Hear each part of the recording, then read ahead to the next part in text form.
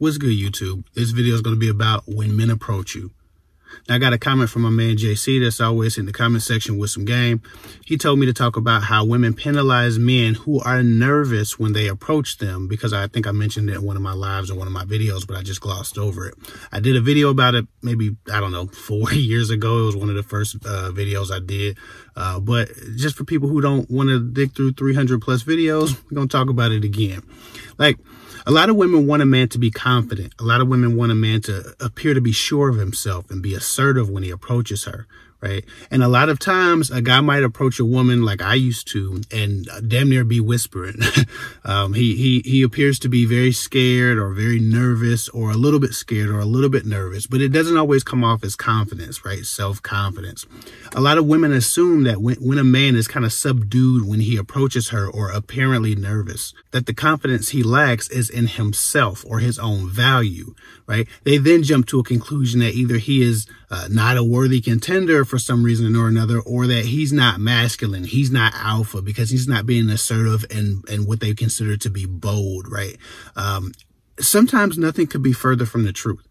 If a guy knows who he is and knows himself, he's he can be very confident in himself but if he sees a beautiful woman or he sees a woman that he really cares about this interaction he really wants to have a shot at talking to this woman the confidence that he has in himself doesn't always uh, transfer. It doesn't always show through. And that's because you're a stranger and he has to figure out or hope and cross his fingers that in the few minutes or the few seconds that you talk to him, you see the values in him that he sees in himself. And most of the time, women make misjudgments about men, their value, their worth, what they have to offer, what type of life they can bring a woman or assist a woman in cooperate in building. This is why 90% of women chase 10% of men because they misjudge the other 90% of men and then tell us that there are no good men. There are good men everywhere. The problem is 90% of women are trying to screw 10% of men or date 10% of men or marry 10% of men because they don't want to build with men anymore, right? Or they don't see value in men who aren't in that 10%. They don't see value in men who don't act a certain way.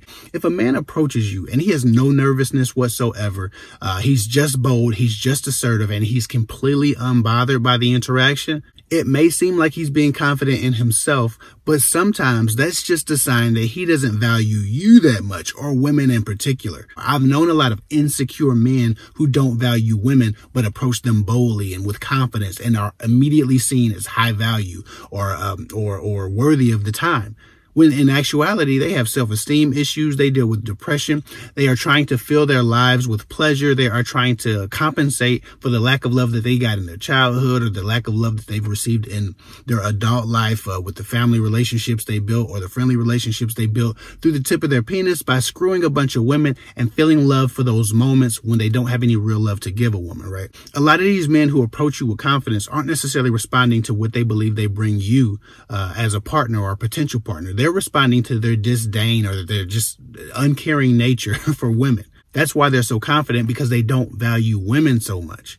Anything worth having is worth considering, worth caring about, right? If you want a job that's a good job, you might feel like you're the best candidate for it. You might feel qualified, but when you get to that job interview, it's not about how you feel about you. It's about convincing the interviewer that you are qualified for the job, that you are the best choice for this job, right? Most people, if they want a job really bad, I don't give a damn if you went to school twice as long as you needed to, you're a little bit nervous when you get to that job, that dream job. You know why? Because you don't know if if that interviewer will see in you what you see in yourself, right? It's not about you feeling incapable of doing the job. It's about convincing a stranger that you're capable of doing the job. And that makes you nervous. Anything that you want badly enough will make you nervous, or the thought of not achieving it, not getting it, not realizing that goal will make you nervous. When a man wants love and he's searching for love, and he values love when he sees a woman that he finds to be intriguing or interesting or beautiful. The thought of not receiving love or catching it or acquiring it in some way, especially through the means of talking to this wonderful woman who he finds himself to be very attracted to, may cause him to be nervous. But it doesn't necessarily mean he's nervous because he's not good enough. It might just mean he's hoping that you're smart enough to give him an opportunity because he is serious. If he doubts anything, he doubts your ability to see through this moment and find value in him, values that he sees in himself. I used to approach a lot of women just to shake off the fear of, of, of approaching a woman. And for a time, it was very difficult to approach a woman and, and even hold my voice tones, you know, exercise a proper tonality when speaking to a woman. I remember when I first started talking to women when I was a teenager, I had this thing where my voice would almost disappear. It's like a frog was in my throat every time I wanted to talk to a woman. Now, I've always had super high confidence, super high self esteem. Always. I've never had to convince myself that I was worthy, good enough. Uh, I fit the bill. Like I've always believed in who I was, right? I come from uh, strong men. Uh, my big brothers always told me I was, I was good enough. I always felt like I was good enough. My mom always spoke power and, and, and, and life over me. So I, I didn't have those issues about not believing in who I was. But I always had issues with approaching women and then trying to make sure that I didn't let the fact that she probably didn't know all these great things about me because I was a stranger get in my way. And so it would be like a frog in my throat. I would talk low. Women would be like, what? what you say? Huh? Say that again? They'd be disgusted because I came up to them and I didn't have confidence. When really, if you just see me walking around or amongst people, I was one of the most confident people you run across. Right. Uh, and it wasn't about me again, not believing in myself. It was about me doubting whether or not she would see in me what I saw in myself. As a stranger, she doesn't have a clue about who I am. She doesn't know if she should be interested in me or not. She has no idea who's in front of her right now. So am I her type? Is my skin complexion the right skin complexion? Is my height the right height? Is my build the right build? Like, how is she judging me? I don't know. So now I'm nervous because I don't know what criteria I'm supposed to be meeting. All I know is I see a beautiful woman who's a little bit intimidating and I want to talk to her and I'm looking for a relationship and I'm hoping she's looking for the same things. So many things are going through my mind, but none of it is, you're not good enough, Kevin. Go over here and whisper to this girl until you make a fool out of yourself. She turns you down and you go home without the phone number. That wasn't what it was. It was just me not knowing if a stranger uh, could make a snap decision about who I was and be correct. So to JC's point, a lot of women often uh, penalize a man for not uh, appearing to be super bold, super assertive when he talks to them. But sometimes, again, that boldness, that assertiveness, that intrusive nature that a man might might uh, show and let peek through when he's talking to you or when he's approaching you, isn't indicative of his value. It's indicative of the lack of value or the lack of concern he has about the result of the interaction. If a man just sees a woman as a hole to stick it in, when he approaches her, he is super confident.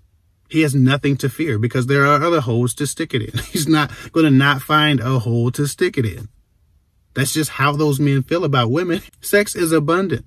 There's no reason to fear that if this opportunity doesn't work, I won't find another woman to have sex with.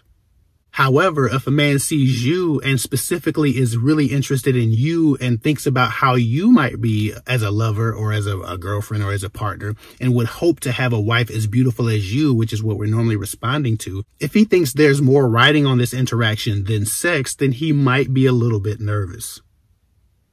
You can actually know how confident or not confident a guy is based on how he approaches you. I've been terrified to approach a woman but I've never had confidence issues at all. It was never terror in who I was. It was terror in what she might assume of me. So many women get in this comment section after they watch these videos, and there are hundreds of them, and they talk about how lucky my wife is, right? Now, again, I'm lucky to have my wife as well. Uh, so it, it's a fair exchange here.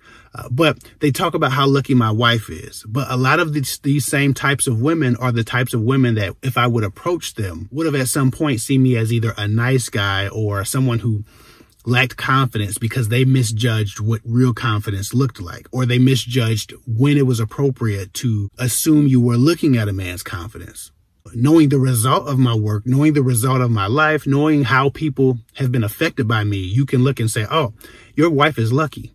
I would love a man like you. But a man like me has probably passed you, has probably talked to you, has probably attempted to speak to you. And because you assumed he wasn't confident or you assumed he was a nice guy, you didn't give him a shot. Now, I'm not complaining. I had a lot of success in approaching women, just like I had a lot of failure. But the point is, those who didn't want to talk to me more often than not thought I wasn't confident in me when I really just cared about the interaction and I was really, really interested in finding a wife early. Again, ladies, always remember how you handle the things and the people that you actually care about, impressing or setting a tone with, or building a reputation with, or a rapport. Think about how you handle those things in people, from job interviews to first impressions, versus how you handle people that you don't find any value in whatsoever. people you don't want to work with, people you don't want to date, people you don't want to talk to. Think about the difference in how you feel around those people, the people who you find to be insignificant. And that's exactly what you're witnessing most of the time when you're talking to a guy who doesn't appear to care at all about the interaction that's happening. I say all that to say this. I'm not trying to bash men who are confident or bold or, or, or just throw caution to the wind because there are decent men who are out there like that. But if a guy appears to be very, very good at approaching women, it's probably because he approaches a lot of women and the result of those approaches just doesn't mean a lot to him.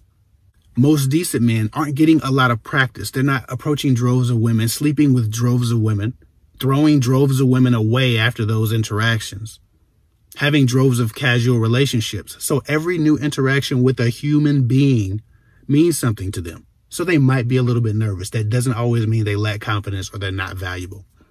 That's foolishness and that's ignorance on your part to assume of a person that they might not believe in themselves just because they're a little bit nervous when they approach you. Because you've been nervous doing shit that mattered and you are also a valuable person.